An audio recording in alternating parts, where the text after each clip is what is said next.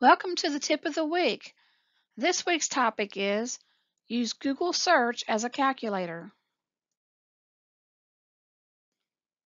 How do you perform calculations on your job? Do you open up the calculator associated with the Windows operating system? Bring up the calculator on your phone or open up a spreadsheet and enter in formulas? All of these tools may not be necessary once you are aware that you can do math in Google search. Open your Google Chrome browser. In the search box, type in your math question and let Google do the work. Let's look at some examples. 45 times 368 and press enter. 16,560.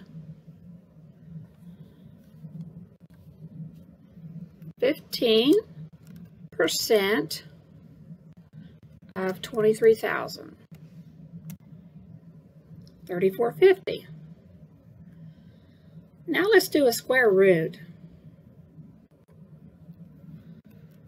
Square root of 24. 4.89. Very quick and easy. Notice that a calculator pops up after you type in a math problem. You can type your input on the calculator for the rest of the calculations if you choose.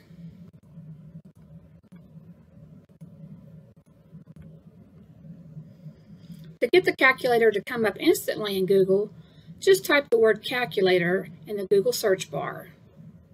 Remember, work smarter, not harder. Do you have questions about using Google Workspace? There are several resources available. The links and contact information are listed here.